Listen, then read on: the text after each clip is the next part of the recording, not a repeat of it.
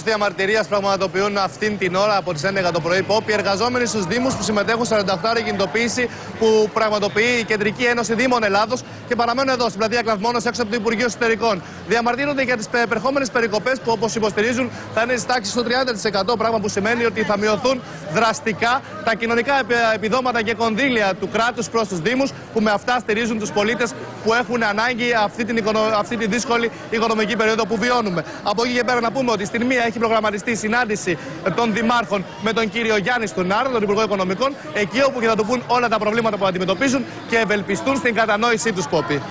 Μάλιστα. Θα δώσουμε το λόγο και στον Γιώργο τον Τζελίκα. Καλώ ήρθατε, Πόπη.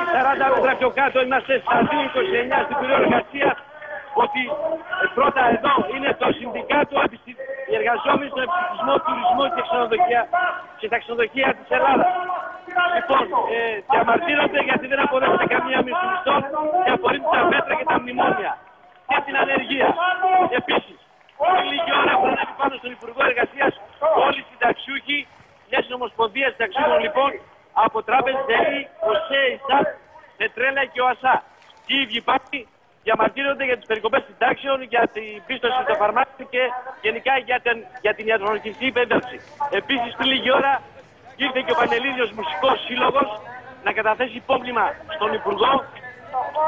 Είναι συγκεντρωμένοι όλοι έξω εδώ στη Σταδίου, η οποία έχει κλείσει και ε, ζητάνε να μην καταργηθεί το εποχιακό επίδομα και ε, άμεσα μέτρα υπεράσπισης των ανέργων, γιατί μας στήσει ο κλάδος τους ε, υψηλά επίπεδα ανεργία είναι μαζεμένοι.